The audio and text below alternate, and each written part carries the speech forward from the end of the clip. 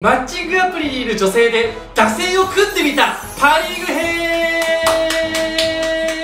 ということで、マッチングアプリをやっていて、正直イラッとしちゃう女性って結構いるじゃないですか。今回は、そんな女性たちのあるあるを打線形式で紹介していきたいと思います。前回はセリーグの DH なしで打順を組んだので、今回はパリーグ形式で DH ありで打線を組んでみました。あらかじめの注意として、もしかしたらこの動画を見て不快になってしまう特に女性の方いらっしゃるかと思いますので、まず先に謝罪をさせていただきたいと思います。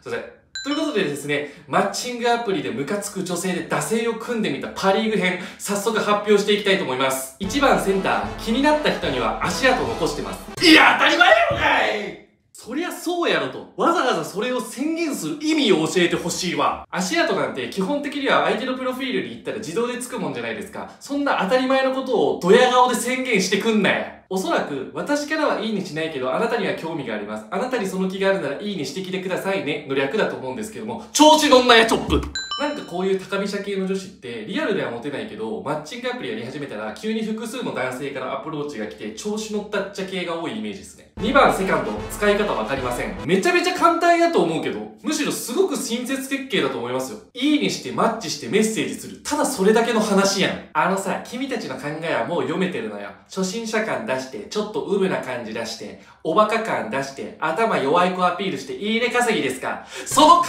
えが頭弱いねレフト、つぶやき機能で焼肉行きたい。え、めっちゃいいじゃん、焼肉。いや、俺もめちゃめちゃ焼肉好きだし、今日ちょうど行きたいって思ってたんだよね。え、よかったらさ、今夜焼肉行かない？もちろんさ、割り勘で、うん、おごってもらえると思うなよ、てめえら。いや、焼肉行くのは別にいいんよ。ただ、おごってもらえると思うなよ、お前らっていうのを言いたいんですよマッチングアプリによってはつぶやき機能っていうものがあって、まあ、LINE の一言みたいなもんなんですけど、まあ、そこにね、焼肉行きたいとか、お寿司食べたいとか、めちゃめちゃひどい女子で言うと、肉、びっくりびっくりだけ書いてるような女子が結構いるんですよね。いや、別にいいけど、おごらんからねっていう、その、おごってもらおうという魂胆が見えすいててなんか嫌やねん。古事記すんなよ、お前ら。4番ファースト、初回費用、男性が全て払う。じゃあ、セックスせろよこれ本当にね、理解に苦しむんですよね。いや、100歩譲っておごってもらいたいなっていうふうに思ってること自体は、俺別にいいと思うんですよね。俺も正直会社の先輩とかと飯行くときは、飯おごってもらえるのかなってこうワクワクしながら行くし、おごってもらえなかったらもらえなかったで、なんだよみたいな。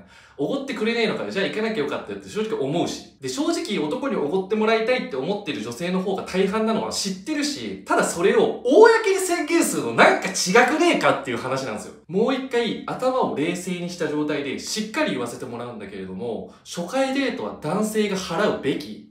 うん。じゃあさせろよ俺が全男を代表して言うよ。多分みんな言いづらいだろうから。デート代は男が出すのが当たり前だ。金を出さない男はクソだみたいに、ATM みたいに男を扱ってる女。じゃあ抱かせろようん。じゃあ抱かせろよはっきり言うよ。じゃあ抱かせろよなんでお前みたいな性格の悪い女に飯食わせるボランティアしなきゃいけねえんだよ。もちろん論理としてガバガバなのは分かってるんですよ。なんで飯イコール性行為なんだよって思うかもしんないけど、これはもう論理とかじゃなくて感すよここがポイントなんですよ。もうロジカルとかそういうことじゃないのよ。これはもうエモーションの問題なのよ。当たり前のようにおごりを要求してくるんだったら、じゃあ抱かせるよ。何かこっちにも対価くれよってそう思っちゃうんですよ。感情が俺の感情がもちろんそれをみんな偉いし、そしてそんなこと言ったらダサいから口に出さないけど、男は少なからずそういう不満を持ってるっていうことを知ってほしい。だって逆の立場になって考えてほしいんですよ。もしマッチングアプリに初回デートプランっていうプロフィールの項目があったとして、そこにラブホテルでセックスって書いてあったらどう思う？うわ、こいつキモってなるでしょそれと同じなんですよ。初回デート全部男が払うって言ってる女は。それと同じことをやってるっていう自覚を持ってほしいんですよ。おごってほしいなって思ってる分にはもう本当にいいと思うんですよ。別にそれは。ただそれを書くのはなんか違くねえかっていう。まあ、ただそれだけの話です。5番ライト、彼氏います。はぁえ？あ？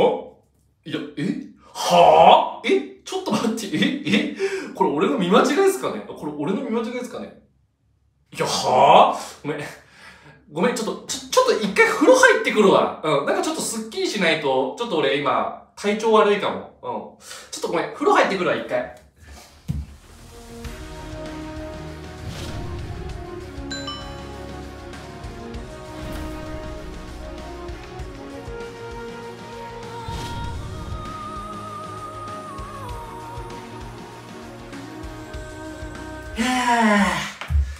どれどれどれどれ。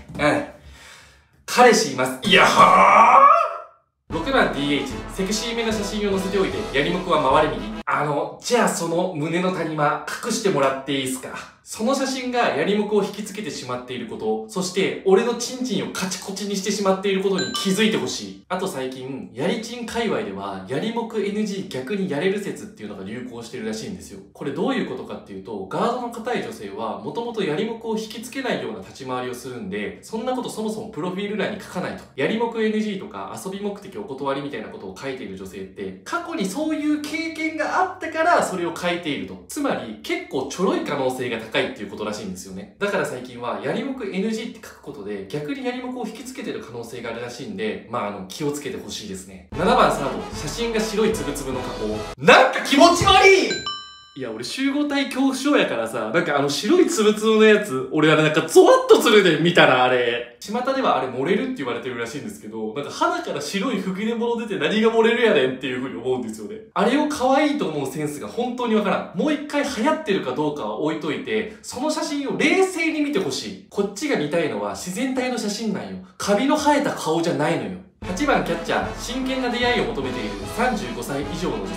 悪いこと言わんから結婚相談所行こう !30 代で真剣な出会いっていうと、まあ、結婚を前提としたみたいな話になると思うんですけれども、マッチングアプリはちょっとあまりに玉石混合すぎて非効率だと思うんですよね。その点結婚相談所ならある程度の品質は担保されてると思うんで、絶対そっちに行くべきです。そっちに行った方があなたは絶対幸せになれる。9番ショート、仲良くなったら顔写真送ります。顔出す覚悟ないならマッチングアプリやめろよあのさ、見バレを気にするその程度の覚悟なら、マッチングアプリに賛成してこないでほしい。こちとらね、遊びでやってるわけじゃないんだわ。ああとやっぱそれをやることによって、純粋にハードルが上がるっていうデメリットあると思うんですよね。そんな風に自分の顔を晒すことを隠すことによって、ハードルが上がってしまってるっていうこともちょっと理解してほしいなと思います。あと全然関係ないけど、プロフで顔出ししていない人の写真、だいたいスイーツの写真か、美容室で撮った後ろ姿の写真なのなんでなのピッチャー、おごってもらっといて、お礼の LINE だし。お願いだからこれだけでいいのでください。すごく簡単な話で、おごってもらったデートの後は、2時間以内に、今日はありがとうございました、楽しかったですっていう LINE が欲しいんですよね。いやもう、本当に、いや違う、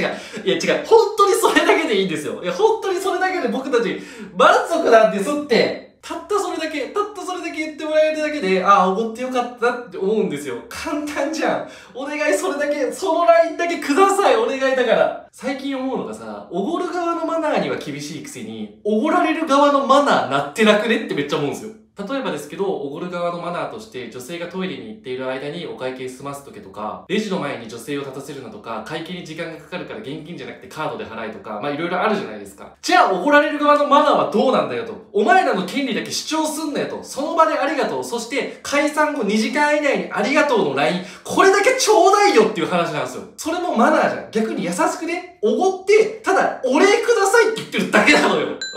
別にそれ難しいことじゃないじゃん。それぐらいやって、俺、こんな俺を小さい男ってお前ら言う？うん。それおかしいぞ、はっきり言って。おごられたら俺言う当たり前じゃん。